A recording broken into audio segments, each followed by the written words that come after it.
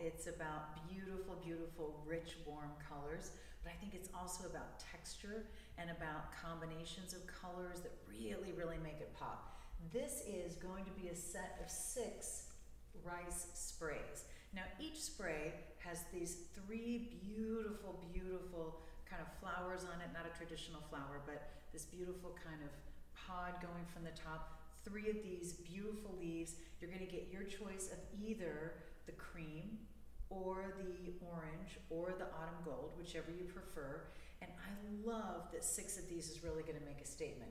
I just think they're so dimensional and so visual and so dramatic. I absolutely, absolutely love them. These are the kinds of pieces that really, really make an impact when you're decorating with them.